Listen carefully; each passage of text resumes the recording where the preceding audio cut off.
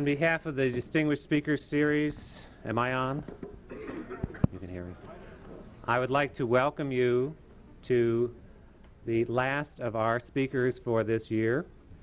I apologize for the lack of space, but I think if all of us pull together, we will be able to at least hear the gospel as it is spoken. the horror, the horror. These are Kurtz's final words in Joseph Conrad's novel, Heart of Darkness. They are the dying declaration of a, of a man who penetrated the core of unspeakable evil and has been destroyed by it. Our excursions into darkness are never as intense or destructive as Kurtz's journey. But as we cautiously circle around the periphery of evil, we often allow our imaginations to take us into worlds that we would never enter in reality. Stephen King and writers like him help our imagination along and in the process provide us with catharses to help us cope with the life we have to live. Most of what I think as a reader and as a teacher of Stephen King's works is in your program notes. I have summed up my attitudes there, reflecting on the huge volume of books that he has produced and the titles, so I will not rehearse them again for you here. There is, I think, in his works, the more I read them, an element of high tragedy, and I am sure that tonight he will be willing to share with us the movements and gestures of his Danse Macabre. I present to you Stephen King.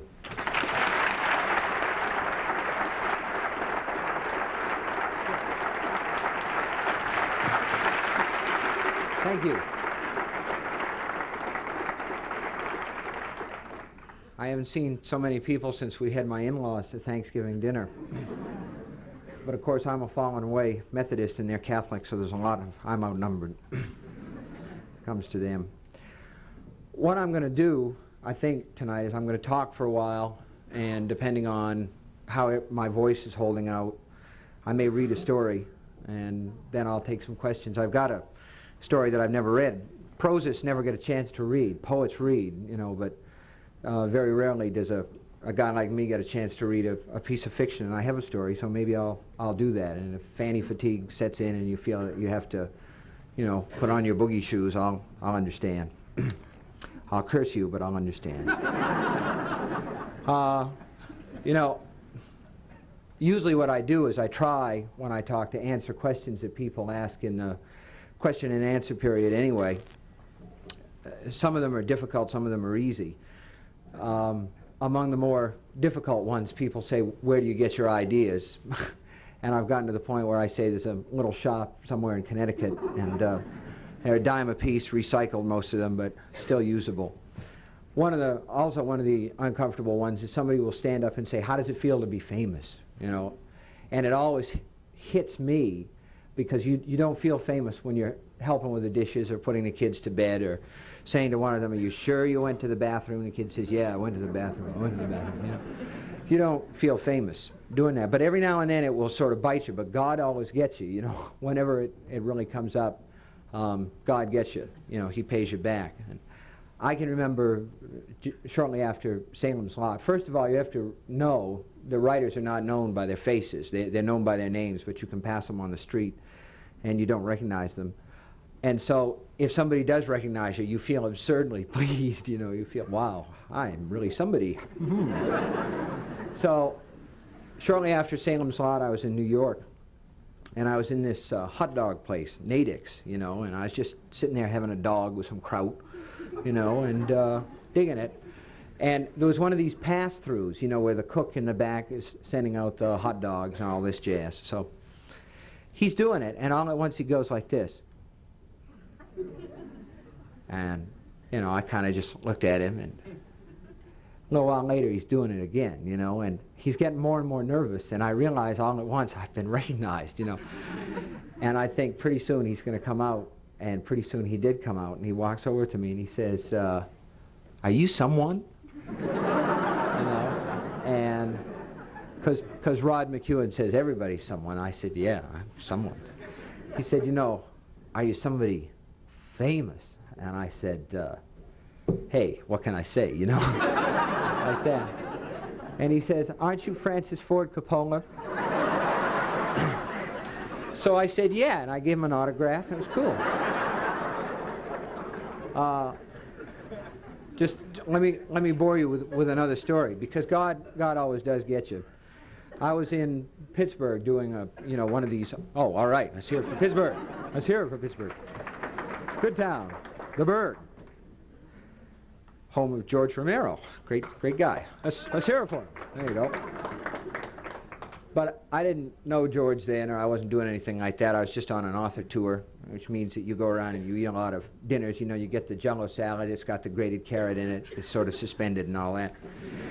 So, what you really do when you do an author tour is there is a speaking gig that somebody sponsors, but mostly you go into a city and you scoff media. You know, there's always an AM program. It's AM Pittsburgh or you know, AM Dallas or AM Washington, whatever. You do that, then you do the afternoon show, and then maybe you do an evening show as well. And the idea is the bottom line, no matter what they ask you, which is usually where do you get your ideas.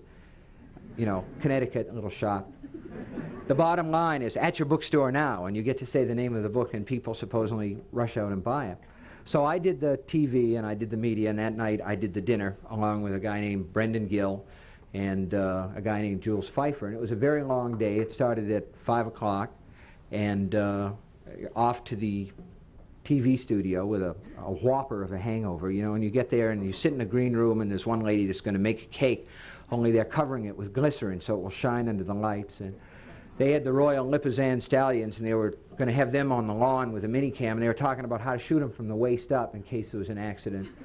and uh, they had these, these karate kids, you know, seven years old doing karate and rushing around in these high, peeping little voices, yeah, you know, and hitting boards and it drills into your head. But I did the thing and I did the dinner. And afterwards, Brendan Gill, who works for the New Yorker and at that time was, had just done a, you know, a book on Lindbergh at your bookstore now, uh, made a civilized suggestion. He said, why don't we go somewhere and get really drunk?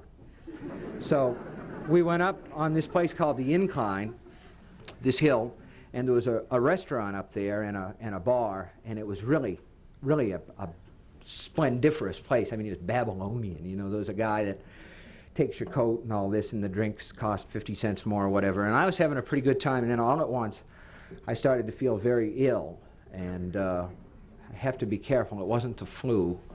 So a little lower than that. I, they call it uh, Montezuma's Revenge. I think you get it from. But it happened anyway, and uh, I rushed to the bathroom so I wouldn't disgrace myself. And the, the bathroom, you know, it was, it was a nice place, and there was a men's room attendant. If you've never seen one of these guys, they're always about 400, and they've got a cloth over their arm and a little dish that you put quarters in, and that sort of thing. The only thing that this place didn't have, it was done in fake marble and everything. There were no doors on any of the stalls. But I rushed in, I rushed right past this elderly men's room attendant, and, well, I could say everything came out all right. Uh, but you know, I was sitting there and I was feeling really sorry for myself. I was homesick. I'd been on the road for a while. I missed my wife. I missed my kids. I had a hotel room to go back to, and I had to go to, I think it was uh, uh, Cincinnati, as a matter of fact, the next day. And I was thinking, yeah, well, it was okay there. it was okay. Yeah, it was cool in Cincinnati. so, Anyway, they beat the Red Sox once in the World Series. I didn't dig them too much for that, but I was sitting there and I was feeling really downhearted and thinking things could not get very much worse. And suddenly I see this elderly men's room attendant turning and he's coming toward me and he's pulling a pen out of his pocket. And he's saying, Aren't you Stephen King? I saw you on TV this morning.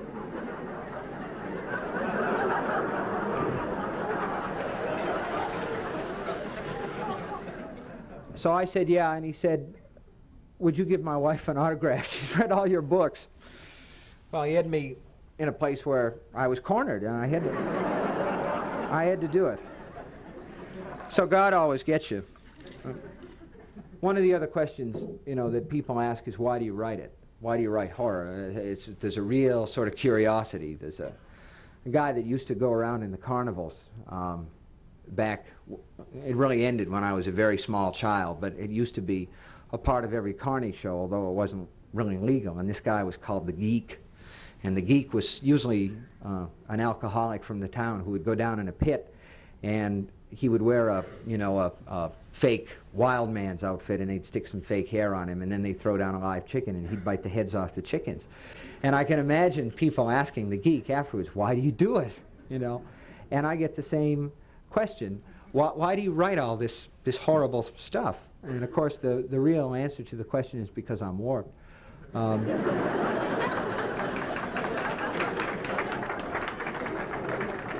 but you can't just leave it at that because then people think you're really weird. So you have to say a bunch of other stuff too, but it just happens to be true. Part of it is expiation of fears, you know, getting rid of fears. One of the really amusing things about what I do for a living, getting rid of these fears, is if you have neuroses, if you have fears, if you have phobias, and they get bad enough so that you can't function as a human being, you go see a psychiatrist and you pay him $75 an hour to get rid of them. People pay me to do this, you know. It's wonderful. It's great. I love it. Um, I've always been afraid of things, you know, and you try, this is one way to deal with those fears. Like the thing under the bed when I was a kid, you know, the thing under the bed, which we can talk about now while the lights are on and everything, but I'm sure that in the darkness of your own room, if you look back to when you were six or even last night, um, you will remember about the thing under the bed, and uh, you know it's not there, but you also know that if you get those covers over you in a hurry, you'd be all right because covers are magic. They can't, whatever's under there can't get through them. But if you let one foot dangle out, you know, it's got you. And I used to write people, you know, about that. People used to write me and say, yeah, you're right, because I mentioned something about that in an introduction to a book called Night Shift. And this one lady wrote me a letter and said, I know just what you mean. You know, I, I every night when I go to bed, she said, I'm 45, but I run across that bedroom and dive under those covers because they're magic. And I had to write her back quick and say, don't do that. You excite them. You know, they hear that. you do. You have to be careful. Um, closets are bad places. And, and again, these are all things that we think of as childish things, except that in the secret places of our own souls, we know that the fears remain. The, the closet is a bad place. It's simply a bad place. Um, at times, there's nothing in there but your coat, but at night, sometimes it can be something else. So, I've gone to the thing under the bed, I've gone to the thing under the closet. You come to experiences in your own life that are frightening, and you try to make sense of them and what you write. One of my first jobs was working in a textile mill, and in this particular job, this was a non-union shop, and you worked except for one week when the mill shut down, and everybody had a vacation who'd been there for a year. If you hadn't been there for a year, you just got a week off without pay, unless you wanted to clean the subcellar of the mill. And I was going to do that, and uh, for some reason, I just didn't get around to it that year. And I went back after the mill reopened to my job as a dyer in the basement, and one of my friends said, "You know, you should have come along." Uh, there were rats as big as collie dogs down there, and I said, "Come on!" And he said, "Well, they were as big as cocker spaniels." And I said, "Come on!" And he said, "They were real big rats." and I got thinking about that idea of rats as big as cocker spaniels, and uh, I turned it into a story because it was so awful. I had to get rid of it somehow. Um, and I can remember living in Colorado at this time I was writing The Stand, and uh, a novel called The Stand. And we had a, uh, uh, an old American Motors car that just simply vomited up its transmission one day in the middle of the road. And a tow truck came along and took it away to wherever they take, you know, transmissionless matadors. And they called around, uh, oh, 6 or 7 o'clock after it had started to get dark and said, your car's ready if you want to come and get it. And my wife said, are you going to take a cab? And I said, no, I'll walk.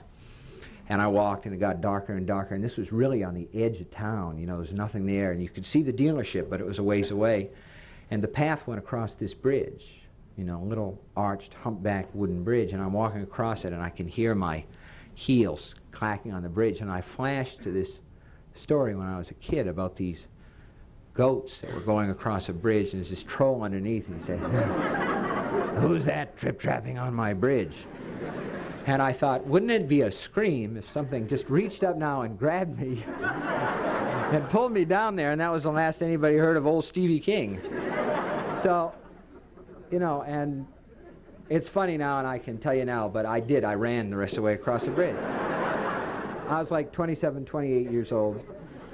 But, you know, the incident stayed in my mind, and over a period of five years, I would come back to that and come back to that, and little by little, I began to evolve the story until now it's developed into a novel. It's about 1,300 pages long. It's called It, and it all came from that one little moment of fear, and I think that a moment of fear is worth having if you can get something good out of it. So one, one reason I write is to deal with the horror, but the other reason is to do something with a sense of wonder, you know. There's a guy named Charles Fort. There was a guy named Charles Fort who wrote a couple of books about psychic phenomena. Things, not necessarily just psychic phenomena, but things that happen, you know, because things do happen. What's going on here? We don't know. These things happen, and Fort never tried to make anything of them. He just piled them all together in these great, big, untidy books and let them stand, you know. And the challenge to the reader is you read these things and you say, what? Where, where, do I fit this into my philosophy? How do I deal with this as a, as a rational human being? There's a story that he tells, perfectly true story about a Minnesota farm family who were having a picnic one day in the spring. There were 11 people all told. There was the family, uh, uh, a man and his wife, uh, their four children, neighbors, and they're all sitting there and you know they've got the potato salad and the sandwiches and the deviled eggs and everything underneath the tree with a check tablecloth all very pastoral they'd forgotten to bring out the salt and the man said i'll go in and get it went into the house came back out walked across the porch walked down the steps got halfway across the yard and disappeared they all saw him go he just one minute there gone like that 11 people no reason to lie they all collaborate the story they rushed over uh, several of them said that for several seconds they could hear him as if from a great distance calling for help and then faded away, never showed up again. So, like, what's going on here? What is this about? I don't know, but it seems to me that there has to be a way to, to deal with that. And not because it, it sets up a feeling of horror, like the thing under the bridge, or the thing under the bed, but because there's something very wonderful about it. We don't think it will happen to us, but the fact that it happened at all. Uh, Fort tells stories about people who spontaneously catch on fire and burned up. And I, I worked this into a book. Um, it, it's marvelous. It, these things occur, and, and uh, the actual writing of such things somehow pales next to the sudden moment of conception, you know, where the, uh, the idea will, will come. I can remember getting an idea for a story in the Stapleton International Airport, which is in Denver. And I got it because my wife had to go to the bathroom. We were going to catch a plane, and we were walking down the concourse, and she said, I've got to go. I said, go. So she went, and I'm standing outside, and suddenly I noticed that I'm not alone outside this room. There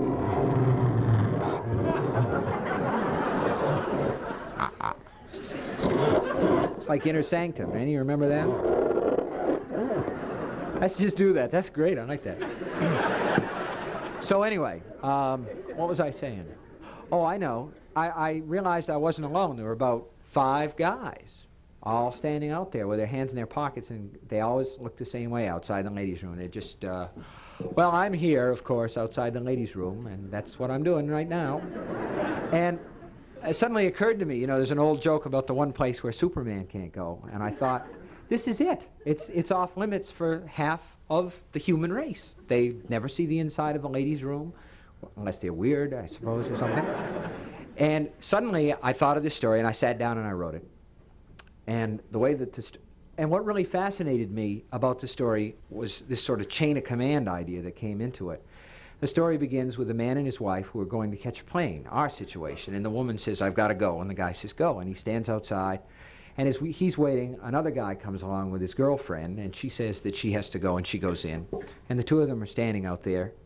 And the guys, the first guys, the heroes, plane is called, and His wife doesn't come, and then it's uh, final boarding call for this plane, and he's looking at the door, and he can't quite go in, but she's not coming out. And the second guy's girlfriend is not coming out. Meanwhile, a business type and his wife has come along, and she hasn't come out. And there are three guys standing around out there, and he's missed his plane. He's getting worried. He doesn't know what to do. I mean, it's the ladies' room, right? It isn't like, you know, Ghidra, the three-headed monster. It's just the ladies' room. So, two salesmen come along who are quite inebriated, and they're obviously with women who are not their wives. And uh, they go in, and the two ladies don't come out. And finally, one of the fellows, who's quite drunk, says, Well, I'm not going to put up with this. I'm going to go in and see what's going on. So he goes in, and you know these pneumatic door closer things that they have there. Well, the door is sliding shut after he goes in, and just before it slips home into its socket, they hear this traveling salesman begin to scream. You know, he's screaming his lungs out, and they're all standing around looking at each other like this. And so one of them says, All right, let's get one of the lady security guards. So one of them goes up to, and now they're real scared, you know, and they go up to the place where they check you through and they have the, the little beeper and everything, and they get one of the women security guards who's laughing at them, but she comes back down and she goes in, and of course she doesn't come out, okay? So at this point they get the head of security who goes in with a, with a gun, you know, and he doesn't come out. And I really got to love that story because I could see it building up to the head of the airport, you know. After the head of the airport, you know, uh, the mayor, the state police, the governor, finally the president, all over this ladies' room. But I couldn't figure out what was in there, so I just quit it.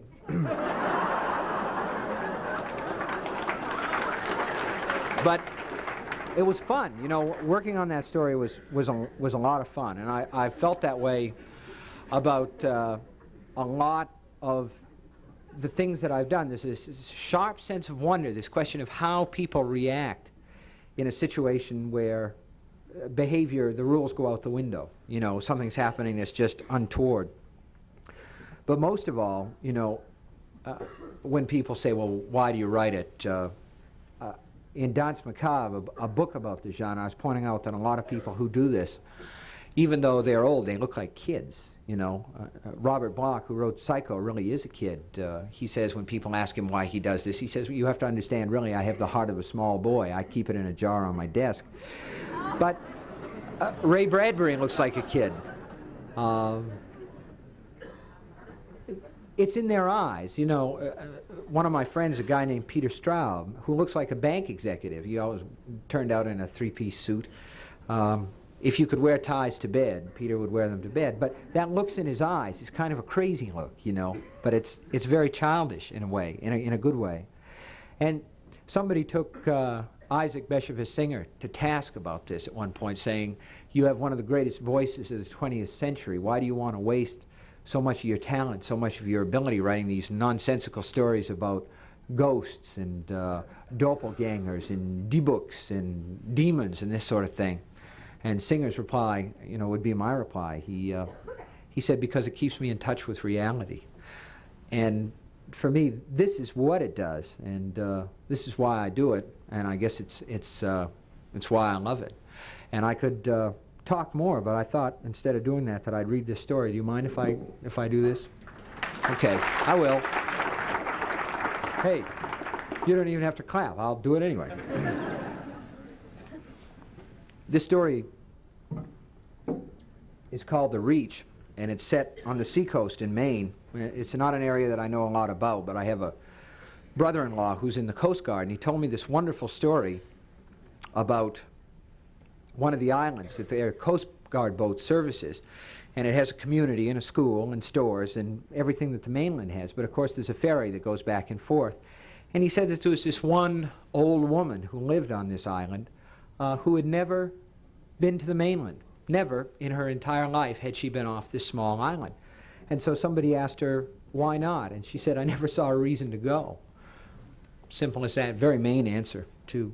But uh, it, again, it stuck in my memory, that sense of wonder of thinking never being, being uh, off the island, never being off the island. So I wrote this story as a result of it, The Reach. And it's fairly long, so like I say, if you get fanny fatigue, I'll understand. Just remember later tonight when your fingernails start to fall out. Okay, the reach. The reach was wider in those days, Stella Flanders told her grandchildren and uh, told her great-grandchildren in the last summer of her life, the summer before she began to see ghosts. The children looked at her with wide, silent eyes, and her son Alden turned from his seat on the porch where he was whittling. It was Sunday, and Alden wouldn't take his boat out Sundays, no matter how high the price of lobster was. Tommy asked his mother, What does she mean? Lois only shook her head, smiled, and sent them out with pots to pick berries. Stella thought, she's forgot, or did she ever know? The reach had been wider in those days. If anyone knew it was so, that person was Stella Flanders. She had been born in 1884. She was the oldest resident of Goat Island, and she had never once in her life been to the mainland. Fall set in, a cold fall without the necessary rain to bring a really fine color to the trees, either on Goat or on Raccoon Head across the reach. The wind blew long, cold notes that fall, and Stella felt each note resonate in her heart. On November 19th, when the first flurries came swirling down out of a sky the color of white chrome, Stella celebrated her birthday. Most of the village turned out. Hattie Stoddard came, whose mother had died of the pleurisy in 1954, and whose father had been lost with the dancer in 1941. Richard and Mary Dodge came, Richard moving slowly up the path on his cane, his arthritis riding him like an invisible passenger. Sarah Havelock came, of course. Sarah's mother, Annabelle, had been Stella's best friend.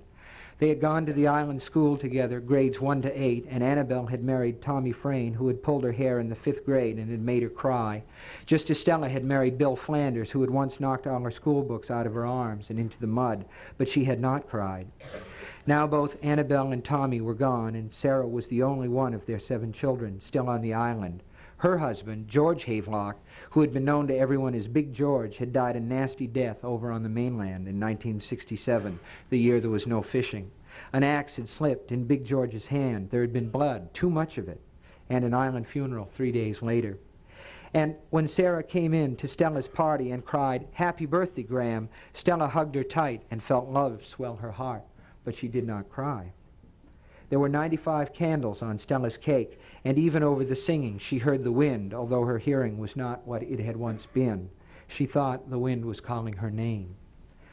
I was not the only one, she would have told Lois's children if she could. In my day, there were many who lived and died on the island. There was no mailboat in those days. Bull Symes used to bring the mail when there was mail. There was no ferry either. If you had business on the head, your man took you over in the lobster boat. So far as I know, there wasn't a flushing toilet on the island until 1946. 'Twas Bull's boy Harold that put in the first one the year after the heart attack carried Bull off while he was out dragging trap. I remember seeing him bring Bull home. I remember that they brought him up wrapped in a tarpaulin and how one of his green boots poked out. I remember. And they would say, What, Gram? What do you remember? How would she answer them? Was there more? Did it mean anything? On the first day of winter that year, a month or so after the birthday party, Stella opened the back door to get stovewood and discovered a dead sparrow on the back stoop. She bent down carefully, picked it up by one foot, and looked at it. Frozen, she announced, and something inside her spoke another word. It had been 40 years since she had seen a frozen bird. 1938, the year the Reach had frozen. Shuddering, pulling her coat closer, she threw the dead sparrow in the old rusty incinerator as she went by. The day was cold, the sky was a clear, deep blue. On the night of her birthday, four inches of snow had fallen, had melted, and no more had come since then. Got to come soon, Larry McKean down at the Goat Island store said sagely, as if daring winter to stay away. Stella got to the woodpile, picked herself an armload, and carried it back into the house. Her shadow, crisp and clean, followed her.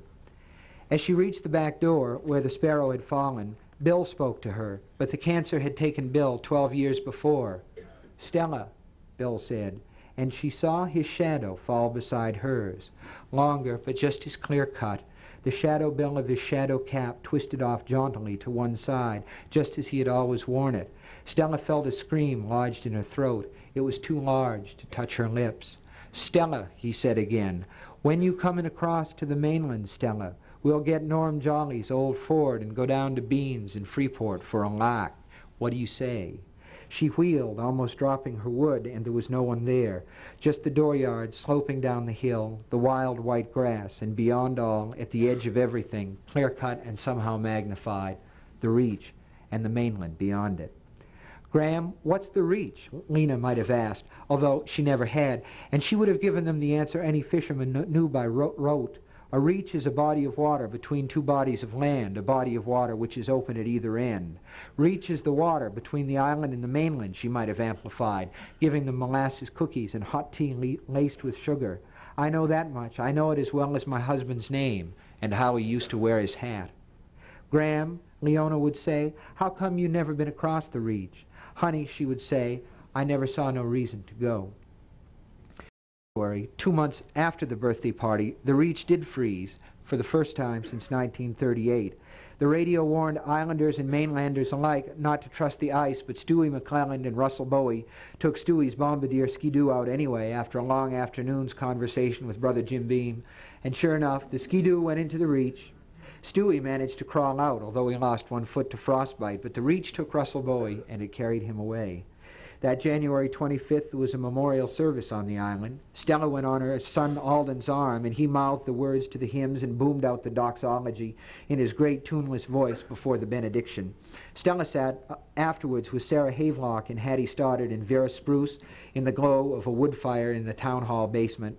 A going away party for Russell was being held, complete with Zarex punch and nice little cream cheese sandwiches cut into triangles. The men, of course, kept wandering out back for a nip of something a little bit stronger than Zarex. Russell Bowie's new widow sat red-eyed and stunned beside Ewell McCracken, the minister. She was seven months big with child. It would be her fifth. And Stella, half dozing in the heat of the wood stove, thought, she'll be crossing the reach soon enough, I guess. She'll move to Freeport or Lewiston and go for a waitress, I guess. Sarah Havelock looked at Stella and asked if Stella had ever seen such a winter. There had still been no snow. The ground lay crisp and bare and brown. The day before, Stella had walked 30 paces into the back field, holding her right hand level to the height of her right thigh, and the grass there had snapped in a neat row like little tubes of glass. No, Stella said, the reach froze in 1938, but there was snow that year. Do you remember Bull, Bull Symes, Hattie? Hattie laughed. I think I still have the black and blue he gave me on my sit-upon that New Year's Eve party in 53. He pinched me that hard. What about him?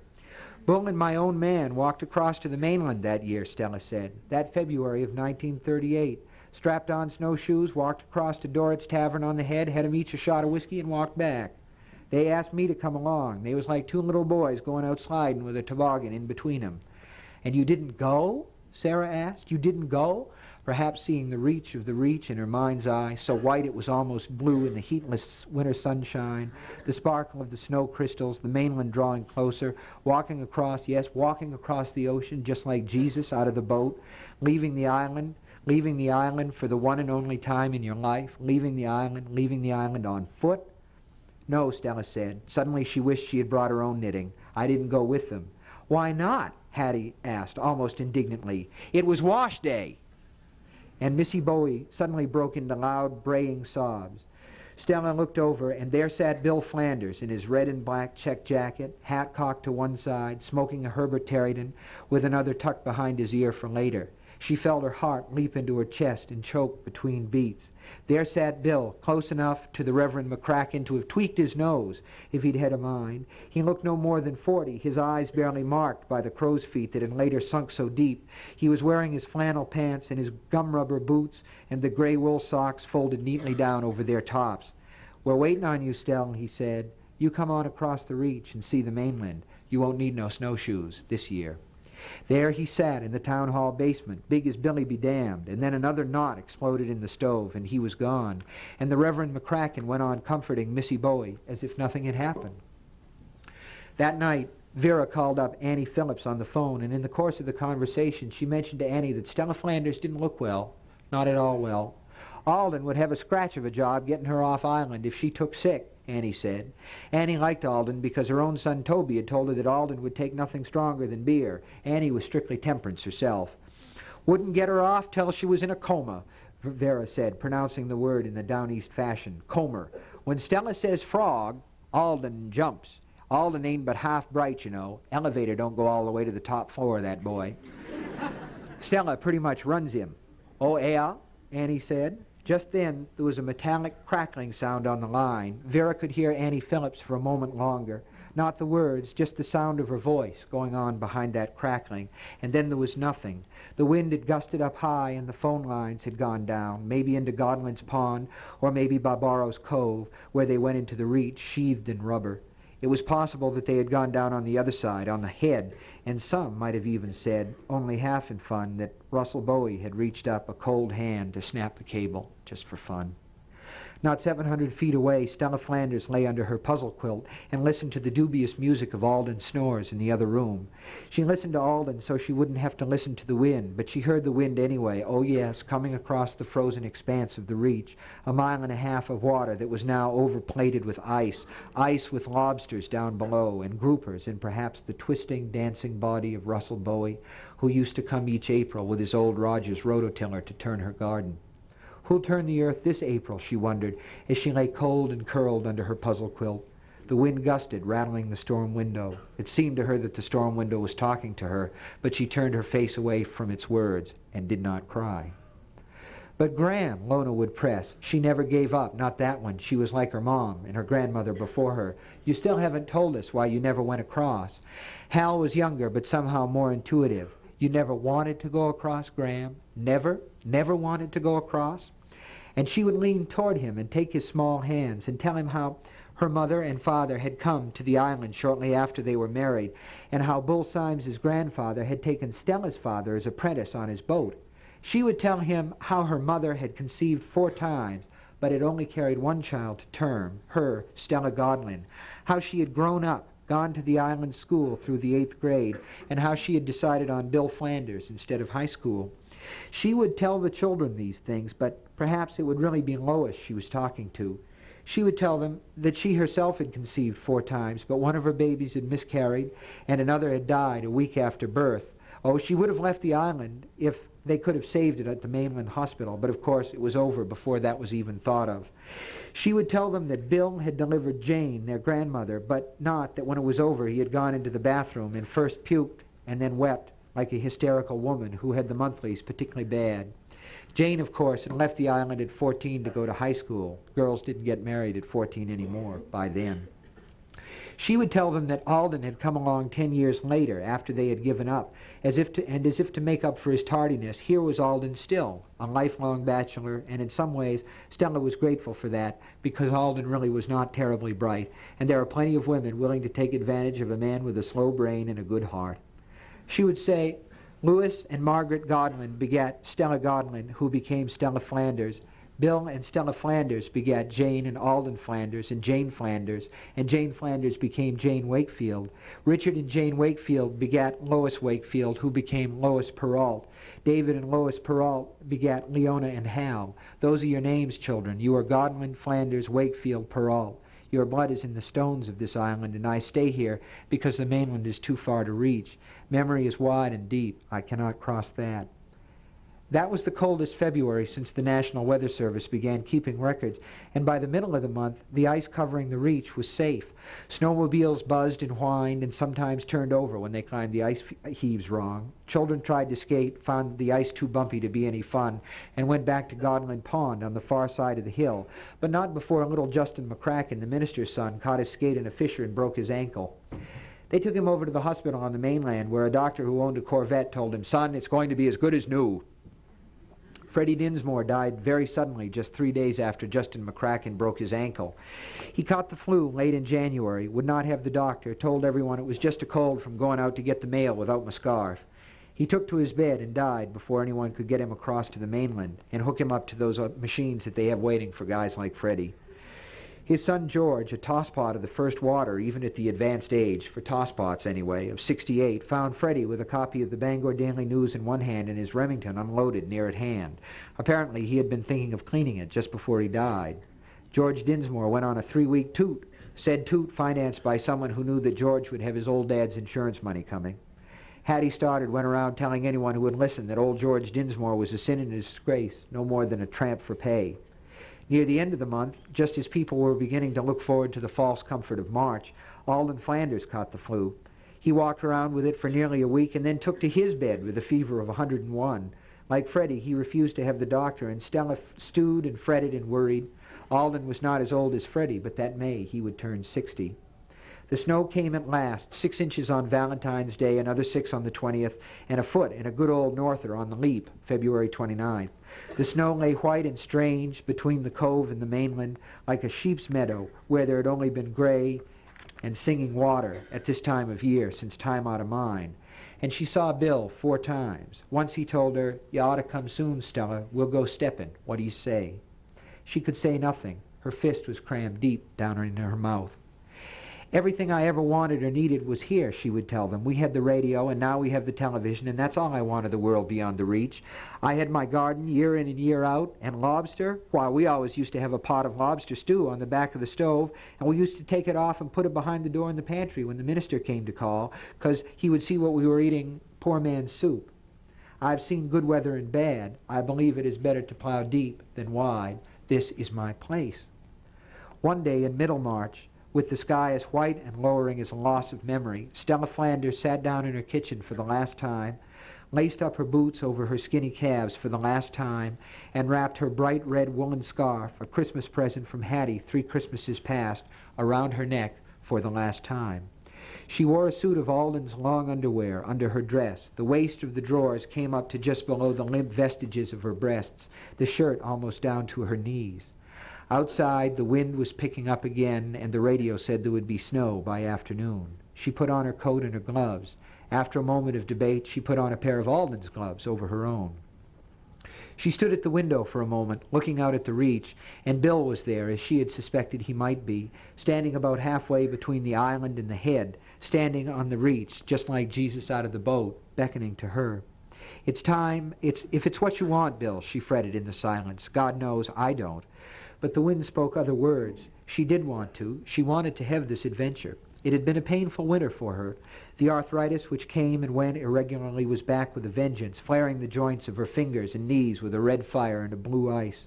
One of her eyes had gotten dim and blurry, and just the other day Sarah had mentioned with some unease that the fire spot, which had been there since Stella was sixty or so, now seemed to be growing by leaps and bounds. Worst of all, the deep, griping pain in her stomach had returned, and two mornings before she, before she had gotten up at five o'clock, worked her way along the exquisitely cold floor into the bathroom, and had spat a great wad of bright red blood into the toilet bowl. This morning there had been some more of it, foul-tasting stuff, coppery, shuddersome.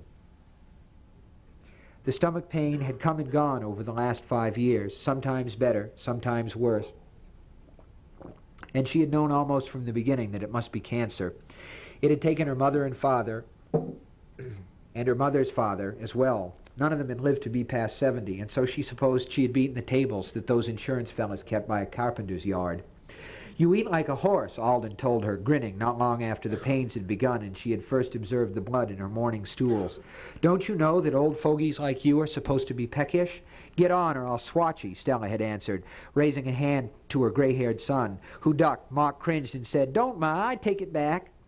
Yes, she had eaten hearty, but not because she wanted to, but because she believed, as many of her generation did, that if you fed the cancer, it would leave you alone. And perhaps it worked, at least for a while.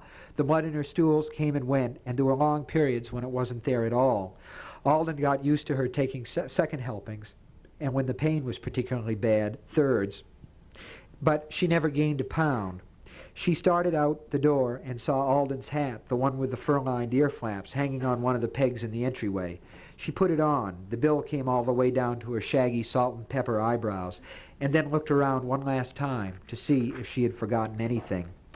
Alden, you'll burn an extra quarter quart of winter when I'm gone, she muttered and opened the stove. She looked in and a tight, dismayed gasp escaped her. She slammed the door shut and adjusted the drawer with trembling fingers. For a moment, just a moment, she had seen her old friend Annabelle Frayne in the coals. It was her face to the life, even down to the mole on her left cheek. And had Annabelle winked at her? She thought of leaving Alden a note to explain where she had gone, but she thought perhaps Alden would understand in his own slow way. The wind shook her, and she had to reset Alden's cap on her head before the wind could steal it for a joke and cartwheel it away. The cold seemed to find every chink in her clothing and twist into her, damp March cold with wet snow in its mind. She set off down the hill toward the cove, being careful to walk on the cinders and clinkers that George Dinsmore had spread. As she passed Russell Bowie's house, she saw Missy, pale as milk, look out at her. Stella waved. Missy waved back. She would tell them this, On the island, we always watched out for our own. When Gerd Henried broke the blood vessel in his chest that time, we had covered dish suppers for a whole month to pay for his operation in Boston, and Gerd came back alive, thank God. Now Missy Bowie's alone with another baby.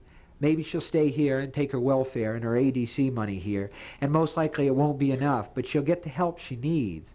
Probably she'll go, but if she stays here, she'll not starve. And listen, Leona and Hal, if she stays, she may be able to keep something of this small world with the small reach on one side and the big reach on the other. Something that would be too easy to lose, hustling hash in Lewiston or donuts in Portland or drinks at the Nashville North in Bangor. And I'm old enough not to beat around the bush about what that something might be. A way of being, a way of living, a way of looking at things. They had watched out for their own in other ways as well, but she would not tell them that. The children would not understand, nor would Lois and David, although Jane had known the truth. There was Norman and Eddie Wilson's baby that was born a mongoloid, its poor dear little feet turned in, its bald skull lumpy and cratered, its fingers webbed together as if it had dreamed too long and deep while swimming in that interior reach. Reverend McCracken had come and baptized the baby, and a day later Mary Dodge had come, who even at that time had midwived over a hundred babies. And Norman took Eddie down the hill to see Frank Childs' new boat, and although she could barely walk, Eddie went with him. Although she had stopped at the door to look back at Mary Dodge, who was sitting calmly by the idiot baby's crib and knitting. Mary had looked up at her, and when their eyes met, Eddie burst into tears. Come on, Norman had said, upset. Come on, Eddie, come on, come on. And when they came back an hour later, the baby was dead. One of those crib deaths. Wasn't it a mercy he didn't suffer? And many years before that, before the war, during the Depression, there had been three little girls that had been molested coming home from school. Not badly molested, at least not where you could see the scar of the hurt and they all told about a man who had offered to show them a deck of cards which had a different dog on each one of the 52. He would show them this wonderful deck of cards, the man said, if the little girls would come into the bushes with him. And once in the bushes, this man said, but you have to touch this first. One of the little girls was Gert Symes, who would go on to be voted Maine's Teacher of the Year in 1978 for her work at Brunswick High School. And Gert, who had then only been five years old, told her father that the man had some fingers gone on one hand. One of the other little girls agreed that this was so. The third remembered nothing. Stella remembered. Stella remembered Alden going out one thundery day that summer without telling her where he was going, although she asked. Watching from the window, she had seen Alden meet Bull Symes at the bottom of the path, and then Freddie Dinsmore had joined them. And down at the cove, she had seen her own husband, who she had sent out that morning just as usual with his dinner pail under his arm. More men joined them, and when they had finally moved off, she had counted just under one dozen. The Reverend McCracken's predecessor had been among them, and that evening a fellow named Daniels was found at the foot of Slider's Point, where the rocks poke out of the surf like the fangs of a dragon drowned with its mouth open. This Daniels was a fellow that Big George Havelock had hired to help him put new sills under his house and a new engine in his Model A truck. From New Hampshire he was, and he was a sweet talker who had found other odd jobs to do when the work at the Havelocks was done. And in church, he could carry a tune. Apparently, they said Daniels had been walking on top of Slider's Point and had slipped, tumbling all the way to the bottom. His neck was broken, his head was bashed in. As he had no people that anyone knew of, he was buried on the island, and the Reverend McCracken's predecessor gave the graveside eulogy, saying as how this Daniels had been a hard worker and a good help, even though he was two fingers shy on his right hand. Then he read the benediction, and the graveside group had gone, and they had gone to the town hall basement where they drank Zarex punch and ate cream cheese sandwiches, and Stella never asked her man where they had gone on the day that Daniels fell from the top of Slider's Point. Children, she would tell them, we always watched out for our own. We had to, for the reach was wider in those days, and the wind roared, and the surf pounded, and the dark came early. Why, we felt very small. We felt only dust motes in the mind of God so it was natural for us to join hands, one with the other. I've never felt I needed to leave the island. My life was here. The reach was wider in those days. Stella reached the cove. Bill was out there beckoning. Grunting, she sat down on the end of the pier and then stepped onto the snow crust below. Her boots sank a little, not much. She set Alden's cap again, how the wind wanted to tear it off, and began to walk towards Bill. She thought once that she would look back, but she did not. She did not believe her heart could stand that. She walked, her boots crunching into the crust, and listened to the faint thud and give of the ice. There was Bill, further back now, but still beckoning. She coughed, spat blood onto the white snow that covered the ice. Now the reeds spread wide on either side, and she could, for the first time in her life, read the Stanton's Bait and Boat sign over there without Alden's binoculars. A snowflake skirled past her eyes, another, a third. Soon it was snowing lightly, and she walked through a pleasant world of shifting bright white. She saw a raccoon head through a gauzy curtain that sometimes almost cleared. She reached up to set Alden's cap again, and snow puffed off the bill and into her eyes. The wind twisted fresh snow up in dancing, filmy shapes, and in one of them she saw Carl Abersham, who had gone down with Hattie Stoddard's husband on The Dancer in 1941. Soon, however, the brightness began to dull, and the snow came harder. The head's main street dimmed, dimmed. At last it was gone. Then Stella walked in a world that was totally without color, a gray-white dream of snow. Just like Jesus out of the boat, she thought, and at last she looked back, but now Goat was gone too. She could see her tracks going back, losing definition until only the faint half circles of her heels could be seen, and then nothing. Nothing at all. She thought, it's a whiteout. You got to be careful, Stella. You got to be careful, or you'll never get to the mainland. You'll just walk around in a big circle until you're worn out, and then you'll freeze to death out here. She remembered Bill telling her once that when you were lost in the woods, you had to pretend that the leg, which was on the same side of your body as your smart hand, was lame. Otherwise, that smart leg would begin to lead you, and you'd walk in a great big circle and not even realize it till you came round to your back trail again. Stella began to limp now, making her left leg work harder. The arthritis in her knees had not gone to sleep, and soon they were screaming at her. Her white hair flew out behind her, her lips had drawn back from her teeth, and she still had all of her own save four. And she looked straight ahead, waiting for that yellow and black sign to materialize out of the flying whiteness. It did not happen. Sometime later, she noticed that the day's whiteness had begun to dull to an even more uniform gray. The snow fell heavier, thicker than ever. Her feet were still planted on the crust, but now she was walking through five inches of fresh snow. She looked at her watch, but it must have stopped. Stella realized she must have forgotten to wind it that morning for the first time in 20 or 30 years. Or had it just stopped for good? It had been her mother's, and she had sent it with Alden twice to the head where Mr. Dosty had first marveled over it and then cleaned it. Her watch, at least, had been to the mainland. She fell down for the first time some 15 minutes after she began to notice the day's dim out. For a moment she remained on her hands and knees, thinking it would be so easy just to stay here, to curl up, to listen to the wind. And then the determination that had brought her through so much reasserted itself, and she got up, grimacing. She stood in the wind, looking straight ahead, willing her eyes to see, but they saw nothing. Be dark soon.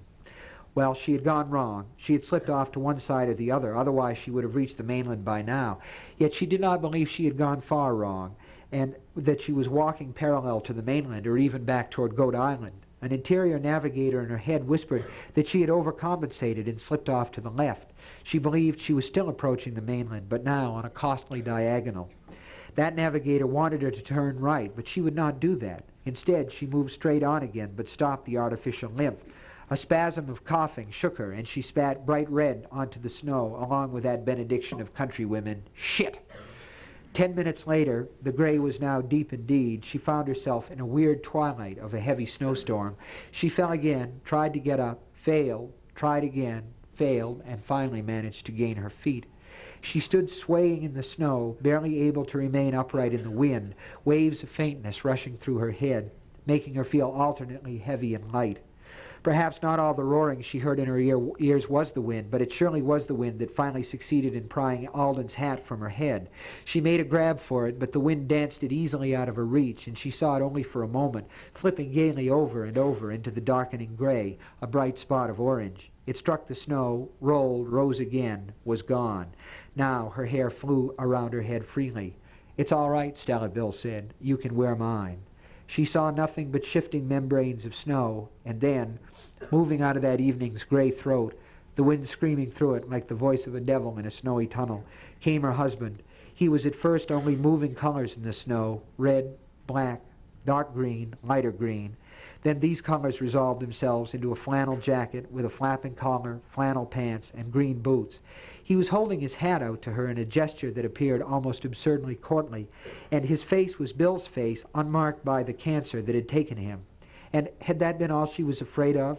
That a wasted shadow of her husband would come to her, a scrawny concentration camp figure with the skin pulled taut and shiny over the cheekbones, the eyes sunken deep in their sockets, and she felt a huge surge of relief and love. Bill, Is it you? Course. Bill, she said again, and took a glad step toward him.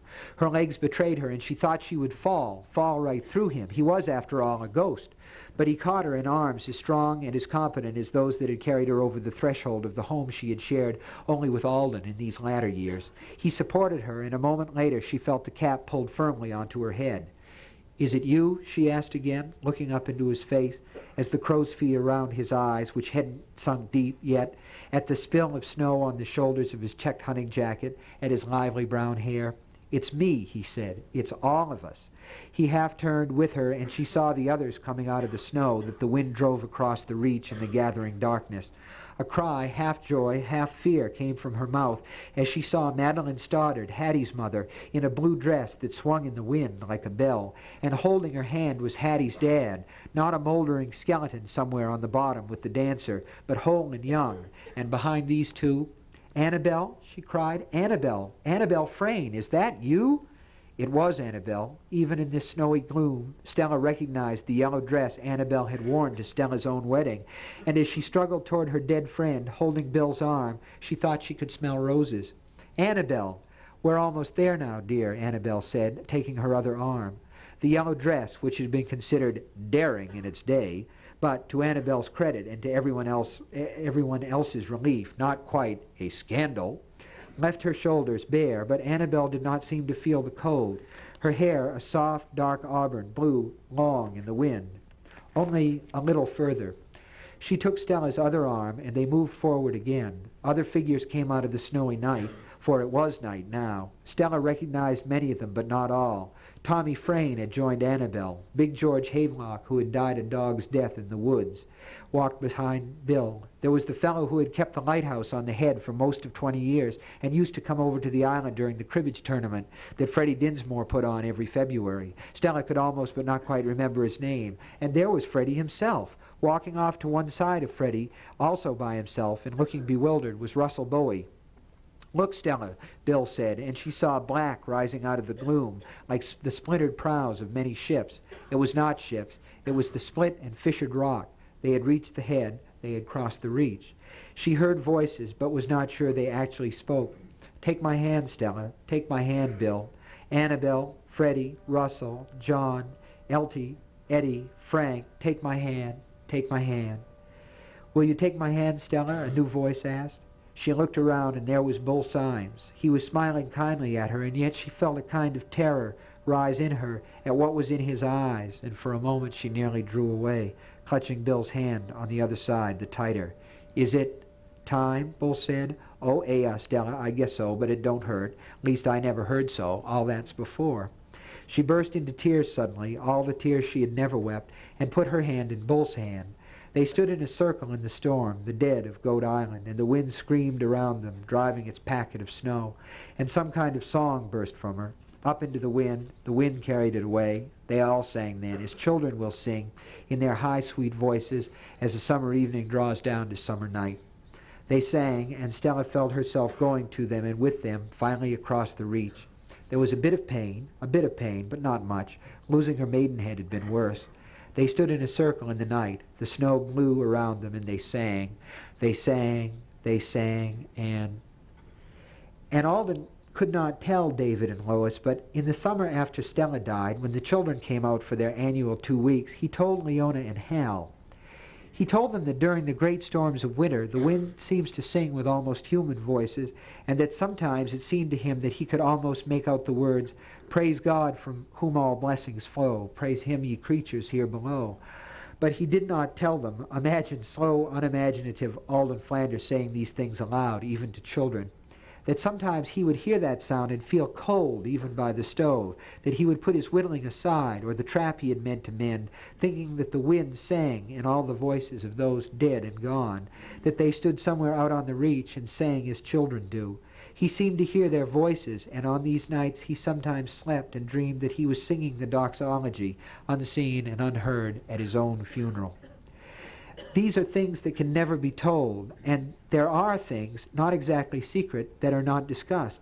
They had found Stella frozen to death on the mainland a day after the storm had blown itself out. She was sitting on a natural chair of rock about 100 yards south of Raccoon Head. Uh, frozen just as neat as you please. The doctor who owned the Corvette said that he was frankly amazed. It would have been a walk of over four miles, and the autopsy required by law in cases of unattended death had shown an advanced cancerous condition. In truth, the old woman had been riddled by it. Was he to tell David and Lois about the cap, that the cap on her head had not been his? Larry McKean had recognized that cap. So had John Benson. He had seen it in their eyes, and he supposed they had seen it in his. He had not lived long enough to forget his dead father's cap, the look of its bill, or the places where the visor had been broken. These are things made for thinking on slowly, he would have told the children if he had known how. Things to be thought on at length while the hands do their work and the coffee sits in a solid china mug nearby. Reach, maybe. Do the dead sing? On the nights after Leona and Hal had gone back with their parents to the mainland in Al Curry's boat, the children standing astern and waving goodbye, Alden considers that question and others in the matter of his father's cap. Do the dead sing? On these long nights alone with his mother, Stella Flanders, at long last in her grave, it often seems to Alden that they do.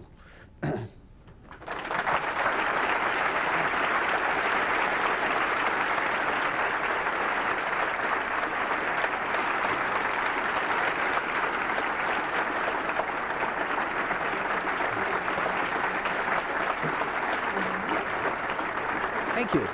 Thank you.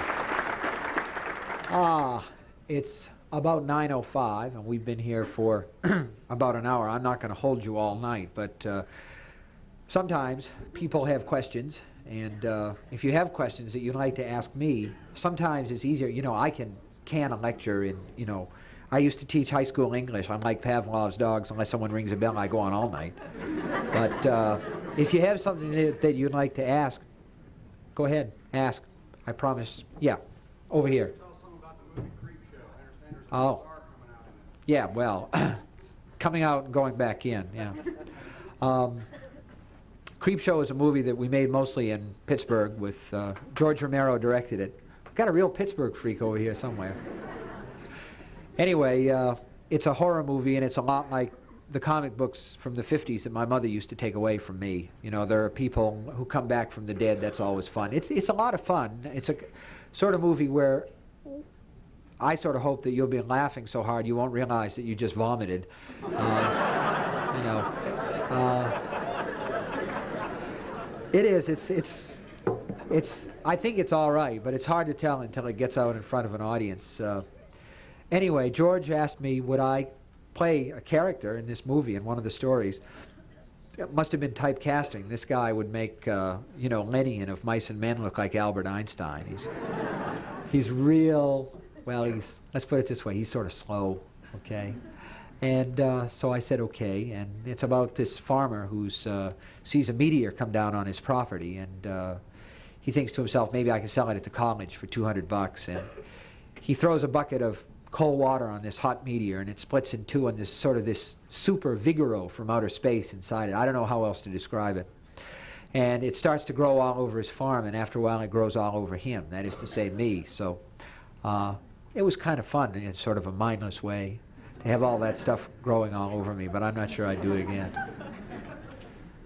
Yeah. Um, I had a question because I've read so many of, I've got all your books and I've read them each about four times every night. Great. Buy new copies now. Yeah, we're out.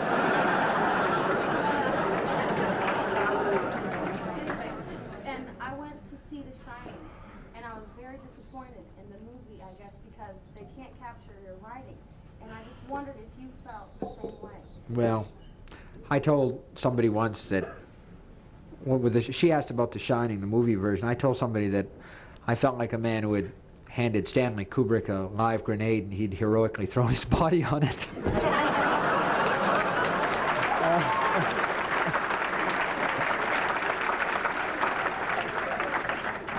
I think it's I think it's kind of an interesting movie, but you know, you were talking about the horror, you know, the heart of darkness, uh, uh, where Kurtz finishes up saying the horror, the horror, and I think somebody else in that book says the only horror is that there is no horror, and with shades of black on black, there never is. And to me, horror is a very hot medium, and and with The Shining, I was sort of hoping that a lot of people would feel the horror spring from the disintegration of the family unit. You know, a father and a, a mother and a kid who really all love each other, and things are falling apart. And I didn't get a sense in the film of any love between the people. So for that reason, I was left a little bit cold by the film. It's kind of pretty to look at. Yeah. Uh, they're gonna make uh, Firestarter the movie, did they? Yes, they're going to make it, and John Carpenter's going to direct it. The guy who did Halloween and all that. They're they're getting ready. They're getting ready for that. That'll be nice. I, I just hope they don't burn anybody up doing it. It'll it'll be great though. I mean, widescreen, all those fires. I love fires. There's fires in all my books. I'm a frustrated bug, I think. There's a guy in the stand, a a trash can man, one of my favorite people of all time. Trashy likes to see it all go up. Yeah. I worry about the, the book that's stand being made into a movie. I understand Romero's directing that.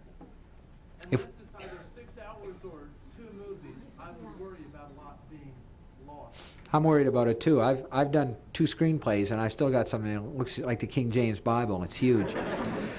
I think that we've pretty well decided that two movies won't fly without a lot of studio money, and studio money means studio interference. Or these guys in, in black cars that come with little coke spoons around their throat, and they say, uh, "How much? How much are you spending, Bunky?" And uh, I think we just as soon uh, avoid that. So we're going to have some, some more meetings about it, and I'm going to do another screenplay, but it's come to the point where we've got to decide if we're going to start to throw people overboard. I, I want to avoid that if I can, but uh, we, can, we can go three hours or three and a half. I'm worried about it too, but I, I'd like to see it happen, mostly because everybody in Hollywood says it can't be made. uh, there's a movie by Francis Coppola, speaking of Coppola. I don't really look like him too much. I'm too tall, but anyway, he made a movie called One from the Heart, and uh, there's a, a little model of Las Vegas that he made, and we've acquired that, so we can we can use that. That'll be kind of nice. Burn up all Las Vegas. Yes, in the black sweater, black coat. Yes, you. I always developed great affection for your characters, and I noticed a lot of your books, children seem to play a central theme. And no matter how much fear, how much havoc goes on in the story, it always ends up with a happy ending. I always feel so You need you need to read Cujo.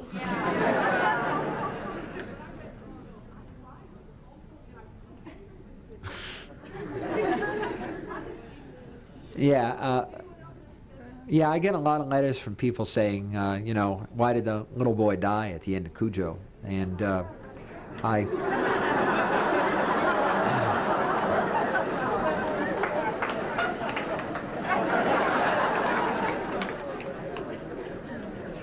I just did the movie script and he lives in the movie. but he has leukemia at the end. No, the thing is uh, about kids, you know, I've been over this and over this in my own mind, and uh, as a as a father, you know, one of the things that that haunts you, I think, we were talking about fears earlier, is sometimes they do die. Sometimes they do. I don't think there's anything any sadder in the world than the, the death of a child, but you know, we talk about fears, the thing in the closet, but you know, we all do have fears that bite, and one of the things, you know, and and because I work constantly in an imaginative way. I think as you get older, you muzzle your imagination a little bit, but it has a way of getting out of control. It can bite, and it can bite seriously. And one of the pictures that sometimes pops into my mind is I'll go in some morning and one of them will be dead in bed. Uh, it's not a pleasant thing to say, uh, nevertheless, the thought's there, and I think that the book sprang out of that as much as anything else. Sometimes you can't save them, that's all. Hey, that's pleasant. Hey. Let's talk about Jonestown. Yeah. I was told that you did an interview at one time on This Morning America in you indicated that you've written a book that even you feel is so frightening that you don't want to publish it. Is that true? And if so, what's it about? It was true, and I've changed my mind, and I am going to publish it, I guess, finally. Um, I don't really want to, but I got into a situation where I had to, to do something. She asked about this, this book that they caught me by surprise on the program. A guy said, "Have you ever written anything too scary to publish?" And I'd been through this this this book, th- this experience of writing it, and it's not the writing that's bad; it's the rewriting that's bad because you know everything that's going to happen, and you put yourself deliberately through it again, you know, as completely as possible. And again, you know, it goes back to the idea of the death of a child, wh- which is involved in the story. But, well, I'll, what the heck? I'll, I'll tell you this, the story, how the thing happened to come. I mean, you weren't doing anything tonight. like I say, you know, if you get tired, that's cool. But uh, I'm not tired. I stay here all night, like Arnold Guthrie says. I think I will. Um, what happened was on Thanksgiving Day, I was writer in residence at the University of Maine. We had a little house that was on a on a main road. You know, it was out in the country, but it was a main road and a lot of trucks that used it. And we had this wonderful cat. You know, he's sort of a Garfield kind of cat. And his, his name was his name was Smucky, and uh, he was named after Smucker's Jam. But that's not a part of the story. Anyway, my daughter really loved the cat, and uh, one day they were all up having dinner at uh, at my in-laws' house. I avoid that place if I can, and uh, the phone rang, and I answered it, and the guy from across the street said, "I got a cat over here on my lawn that's dead, and I think it's your daughter's." And I went over, you know, desperately hoping it was not, uh, but it was, and uh, I got it in a hefty bag. You know, I kind of had to peel it off the frost. It made this awful noise. And uh, how was dinner, by the way? Was it good tonight? Did you enjoy your dinner tonight? And there's nothing heavier than a dead thing. You know, they put on 10 pounds after they're dead. And I, the guy said, well, you're going to put it in the pet cemetery, aren't you? And I said, what? He said, the pet cemetery. And he took me up there, and you have to picture, this is like November dusk. You, know, the sun is going down as cold as that orange line, and you don't want to be in the woods. And this guy's taking me out in the woods behind the house. And sure enough, there's a clearing in the woods about a mile up beyond this house. The road is busy. There are a lot of houses on the road. A lot of kids have animals. And there were animals buried up there. There were guinea pigs, there were turtles, there were cats, there were dogs, all of whom had either died of old age or had been killed on the road with these little signs that kids make, you know, the S's backwards and everything. And when my daughter came, I buried the cat. And when my daughter and my wife came home, I got my wife aside and I said, This is what happened. And I, I'm a coward, see, I'm real chicken. And I said, When she asks, Where's Smucky? We'll just say, Well, I haven't seen Smucky. I don't know, you know, he's somewhere. And my wife said, You can't do that. You know, she's got to have this, an experience with death. And I said, No, she doesn't. She doesn't have to have that. But we told her, and she went through, the, you know, the stages of grief. It was great anger, there was sadness, and there was a lot of anger. There was a lot of jumping up and down. I want my cat back. I hate God, and the rest of it. And so it, it stayed there. And these things, they're like poles, these magic things. There's be one thing and it's no good, and then something else will happen, and it is good. And that spring, after th- this happened, we had a little boy who was, we have a little boy, Owen, who is now five. At that time, he was two and a half, and he just gotten control of the large motor reflexes enough so besides walking he could run in sort of a you know crazy way you know the way little kids run. And it was fun to run away. And one day he was running across the lawn directly toward that road and i could hear one of these trucks coming you know this big whine of one of these trucks and we're yelling at him owen stop and he's laughing because it's funny. Everybody says please stop and he runs faster. So i chased him and you know all joking aside it was you know I played football and everything else. It's the only race I ever wanted to win. And I caught the kid and I tackled him and brought him down on the shoulder and he got all scraped up. And at that minute, truck goes by. And I thought that night going across to the study, suppose you had a story where the cat died and beyond the pet cemetery there was another place that was magic. And if you buried the cat there, the cat would come back, but it would be weird. And suppose that happened, and then suppose the fictional family had a child that died and the child was buried, and the father went and dug the kid up and buried him up there, and the kid came back. So that was what it was about, and uh, it's pretty, pretty awful book, but it's oh boy, it's, so it's called Pet Sematary, and I shelved it, and I, I'm not trying to whet your appetite about this or, or anything because it's not going to be done for a while yet, but I guess it will be done eventually. Pet Sematary. Except Pet Sematary is all misspelled and they keep trying to correct the spelling, but anyway. Well, that's that story. Yes?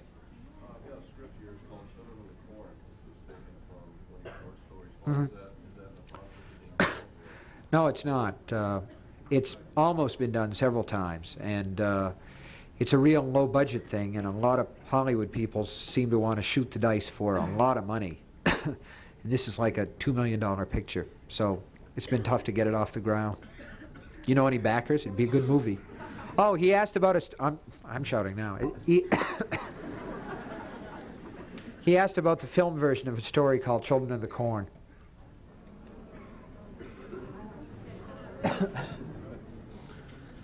Some, yeah.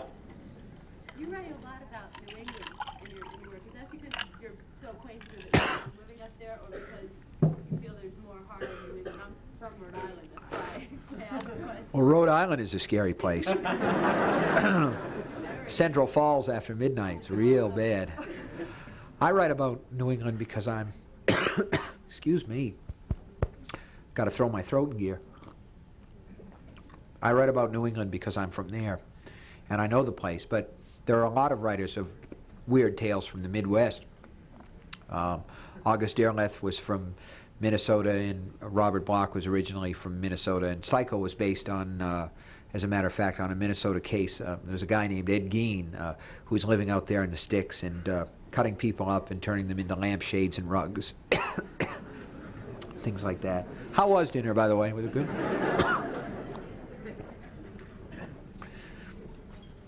Peter Straub's from out there.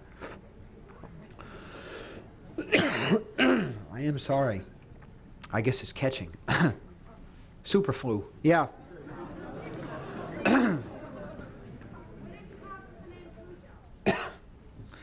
Cujo was the name that William Wolfe of the SLA took. Just seemed like a good name for a dog.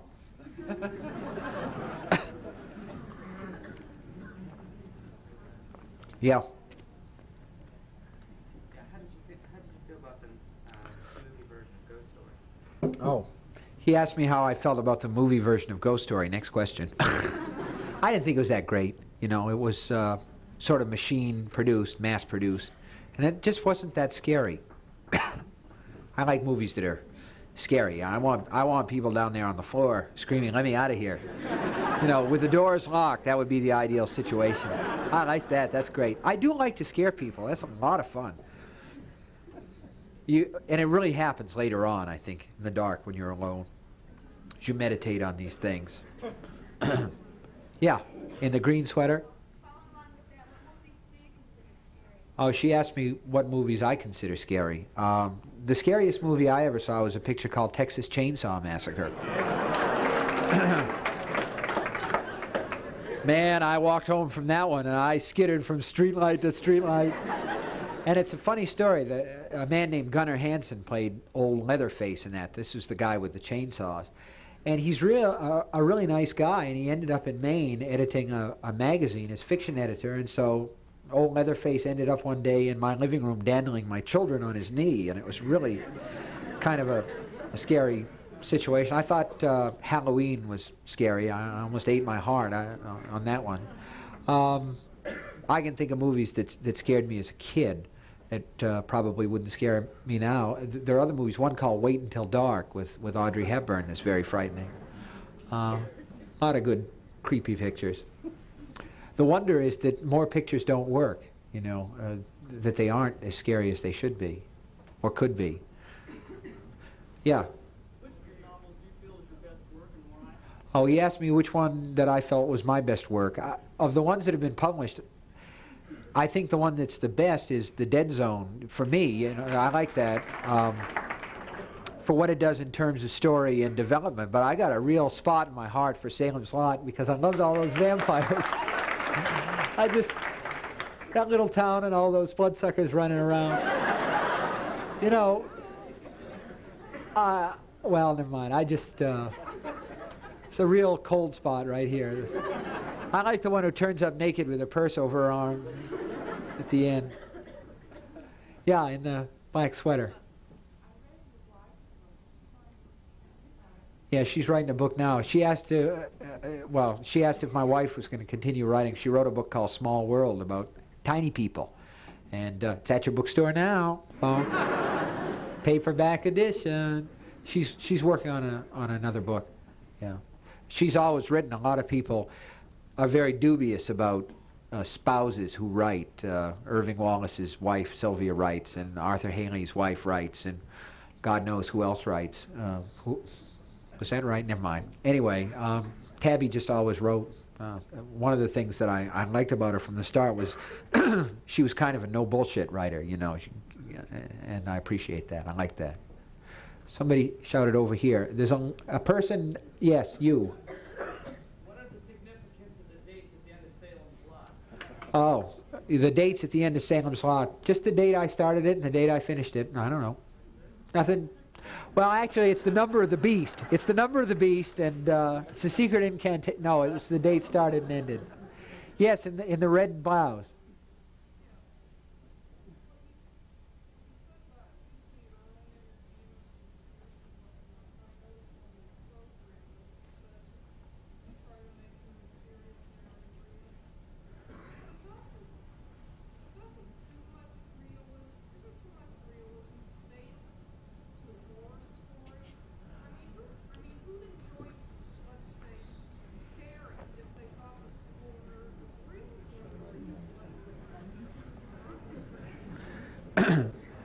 Uh, her question is uh, whether or not uh, too much realism hurts. It's an interesting question because, like most of you, at least those of you who are interested in the genre, you probably began on Poe. Um, anybody read Lovecraft out there? You know, the old, uh, yeah. And some of these guys, and the thing that always struck me about those guys was that it was always in an, a ruined English abbey, or it was, uh, you know, a lake you know, a, a, spooky old tarn somewhere in the middle of Europe, and I wanted it to 7-Eleven store. I, I don't think you can. I want it down the street. The monsters are due on Maple Street. You know, I want them uh, out in the parking lot, hiding in the back seat of your car when you go home. to me, to me, the more realism you can bring to it, because sooner or later you have to ask people to, to cross this line. You know, I do. I, always, whenever I go someplace and speak, somebody will say, "I respect you what you're doing, and I'm glad that you're a writer and all of this stuff, but I can't go that step. I can't believe in it because it's not real. And I say to people, well, you know, uh, the world is filling up with nuclear weapons and biological weapons, and these people are sticking at vampires. Uh, to me, the reality, there comes a place where you have to draw that seam between what is really real and the place where, you know, you step over the line with a reader. And I just like to be able to take people across that line but I feel more comfortable in places that I know. You know, uh, McDonald's, Burger King, places like that. You know, I know those places. I, I don't know Europe, so maybe I shouldn't admit that I don't know Europe. I do know Europe. What the hell? I'm cosmopolitan. we'll do a, a couple more, but I really don't want to keep you up because it's getting late and you know what might come out. yes.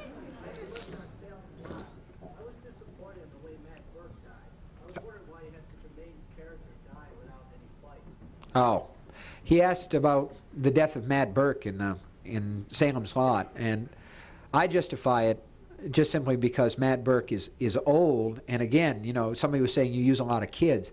I think kids are better qualified to cope with some things, just simply because they have this wide perception. They see everything, they accept everything on even terms. Um, a lot of us that are here tonight, you know, if somebody in this audience suddenly rose from their seat, you know, and began to fly, you know, back and forth, a lot of us would simply blow our wheels. You know, we'd be, we'd be gone. Uh, and I mean that in a very literal sense. If that happened, there would be people who would look at that, you know, and blow groceries all over their shoes, right? There'd be people who would have heart attacks. Literally, there are people here who would have heart attacks to see that. Whereas if you had a six-year-old here, you know, uh, the kid would say, uh, Mommy, that man's flying. How's that man do that? That man's up there flying. See that man, Mom? That man's flying out there. Look out, he's going to bump his head. Can I have a cookie when we get home? Can I? And that would be it. Because everything is marvelous. I mean, there's just, there is no gradations of wonder. You know, tying your shoes is wonderful when you're five or six. Uh, and if you're old enough, I, I just saw that as a case of not being able to cope with what had happened. One of the things that really interests me is what happens to people when they cross that line. What changed in the lives of those people in Minnesota when they saw that guy, you know, just suddenly floop, gone? You know, one of the witnesses to that said that they heard a sound like that as the air closed on the space where this guy had been. You know, something like that happened to me, you know, goodbye. so, yeah, in the back there.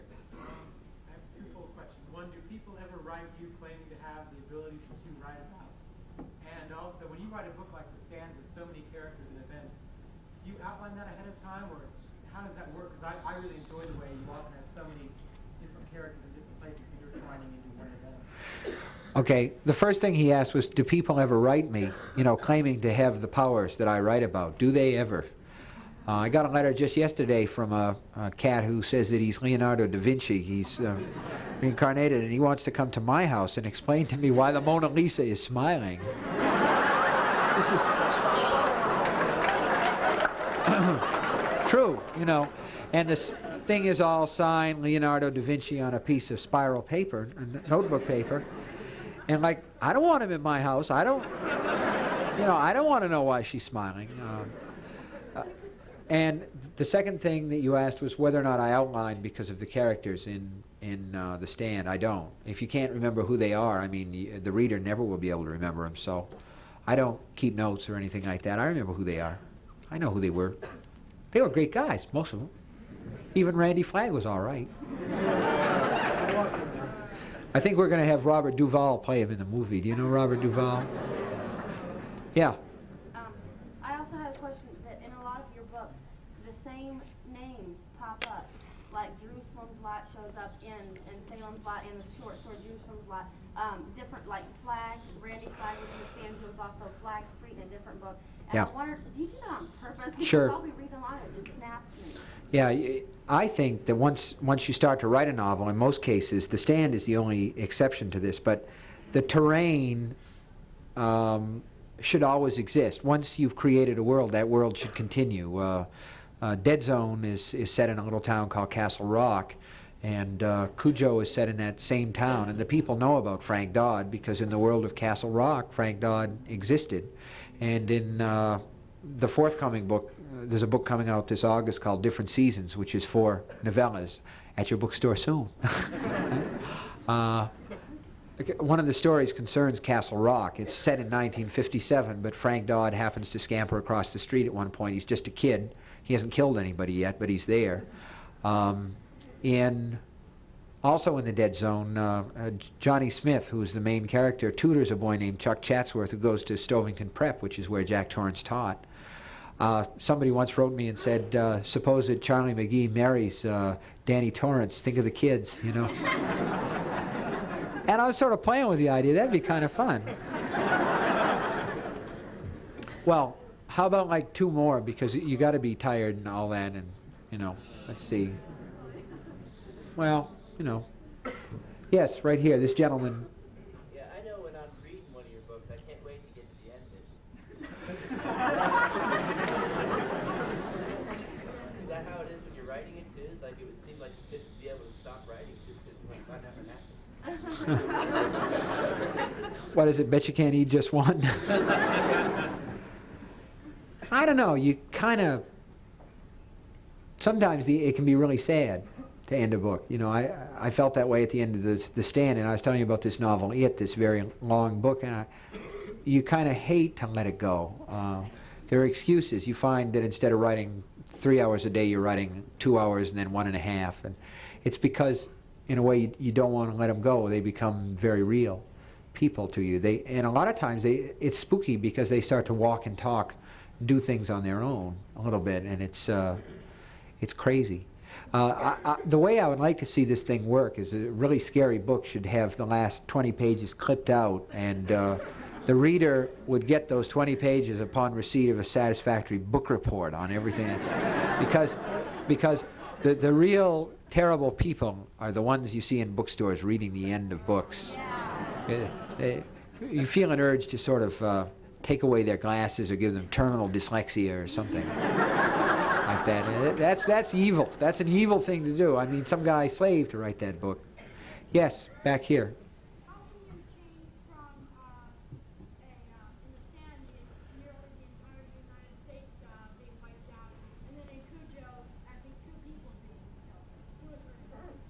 Well, really, it's interesting to wipe out a lot of people, and sometimes it's fun to wipe out just a couple. no, that's that's facetious. But what what interests me a lot is, is scope and situation. And uh, Cujo really came about because I had read, number one, that uh, St. Bernards, a lot of dog, a lot of breeds have been overbred in this country. And uh, there's one kind of breed, I, I can't remember which one, s- somebody out there will know, has something called hypoplasia now. Uh, they've been bred and their, their hip joints go. Uh, some of them, shepherds, I, I, you know, and uh, St. Bernards, which is supposed to be the most gentle of the breeds, have been bred a lot, and particularly because they're good with children. And they've suffered some nerve degeneration, and occasionally a St. Bernard that comes, usually you get them from, uh, you know, unscrupulous breeders or from uh, pet stores that are on the edge and are selling a lot of one particular breed and getting them from bad sources. They can be mean, and I'd read an article in a newspaper that talked about a kid in Portland, Maine, not far from where we live, um, uh, and the kid had been killed by a St. Bernard. Had been bitten to death. This was not a dog with rabies or anything like that. And I have a motorcycle, and I got it out one summer, and it wasn't running very well, and I couldn't seem to gap the plugs. And somebody told me that there were these people on this farm way out, you know, in East Overshoe somewhere that uh, were good with small engines, and I took it out there, and I mean, this was like deliverance country, you know. These guys feel strange. I mean. I mean, they, they were degenerate. They had no chins, these guys. and, and I got off my bike, and the biggest dog in the world, Cujo, in, in effect, came out of this barn, you know. And I mean, I was big, but this dog was almost as big. Well, he probably outweighed me, you know. And uh, maybe not then because I've lost some weight since then, but he was a big dog. And he started, you know, this. don't like that sound when you're on a motorcycle. It isn't running right, you know. And he's sort of stalking toward me, and one of these guys comes out of the barn, you know, with the engine oil all up his arms and everything, saying, "Don't worry about that dog. He does that all the time. He don't bite." And so, but I was worried, and I sort of bent down to to pet him, and the dog kind of started to go for me like that, and. Uh, the guy was close by and he whacked the dog on the rump and the dog sat down immediately and the guy looks at me and he says never did that before must not says he must not liked your face so it kind of played there and i started to think about what was the smallest operant area in which you could set a whole novel and i started to wonder if i could set one inside a ford pinto and what came out was was cujo and it's not all set there but a lot of it is. I don't think the book is a tremendous success in a lot of ways, but it's mine, and you know, I guess you'll love all your children, even if they don't walk and talk the way they should all the time. Yes. Um, Carrie takes place uh, a lot in the high school, but generally it doesn't seem that you use your experiences from teaching very much in your writing. I just wondered how you felt about it. Did you enjoy it or not? I did like it, and I've got a, a book in the drawer, a novel called Christine, which is, you know, like it's a return to the Carrie thing. It's kind of high school confidential.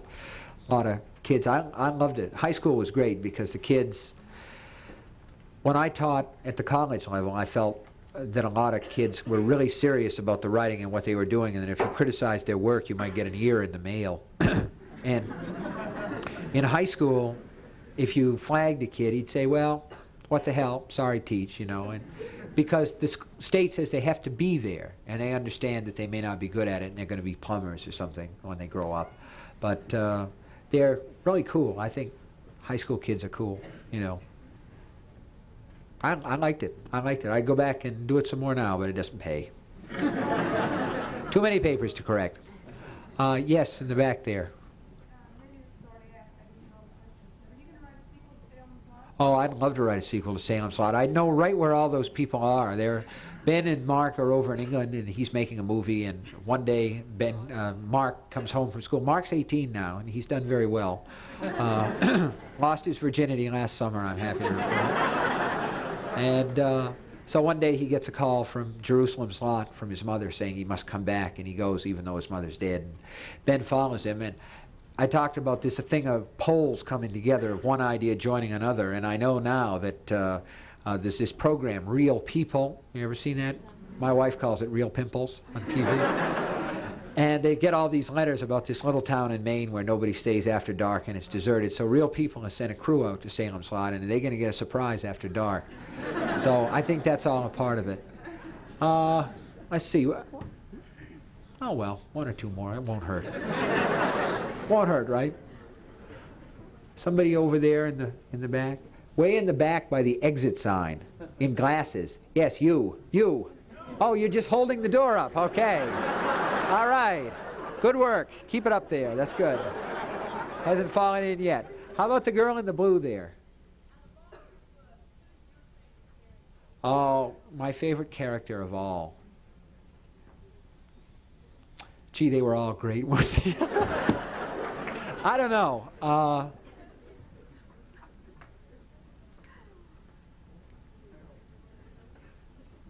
I don't know. I, I, I like Charlie McGee, I guess, as well as anybody. The little girl in Firestarter. I thought she was real brave. And I like I like Trashy. I like Trash Can Man. And I like Lloyd. There's this guy Lloyd Henreid in the stand who's kind of cool. Yeah. One more. One more question. Yes, in the white.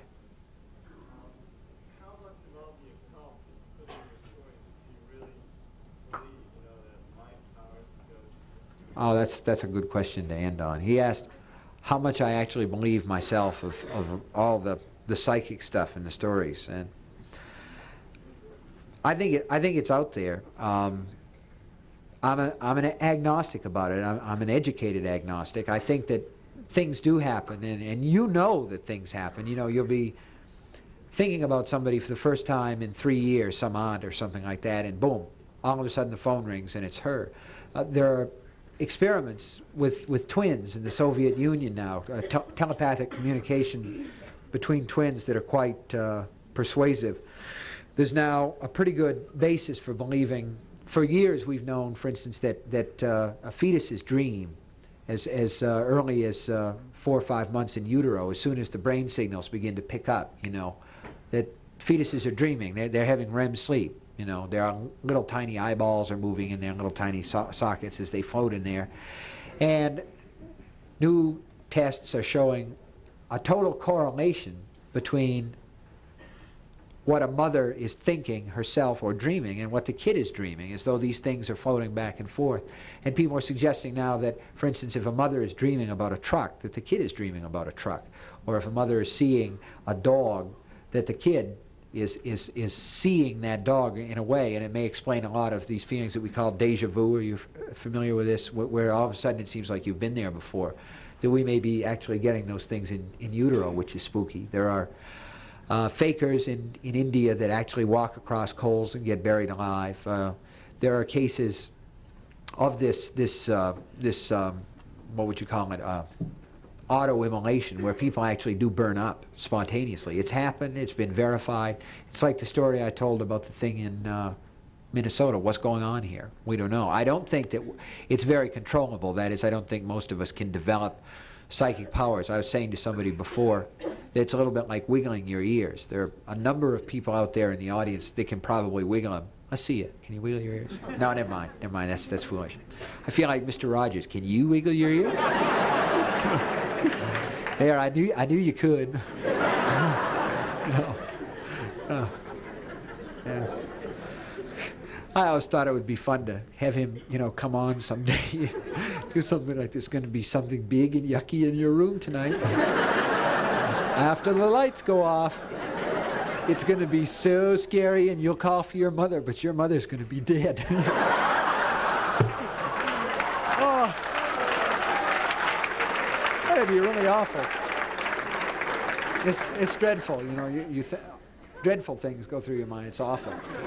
But uh, what I, all I was going to say was that not very many people could, for instance, flap their ears right back and forth, and I don't think many people can, you know, do this sort of thing on call. I think people have flashes and people have, you know, sudden bursts of either telepathy or precognition that people even may exhibit some of the other range of those so-called wild talents, but I don't think it happens often. And I think it's probably just as well, because we, we have enough that we can do with as it is. I appreciate you all coming, and uh, it was real great to have you here, so thank you very much.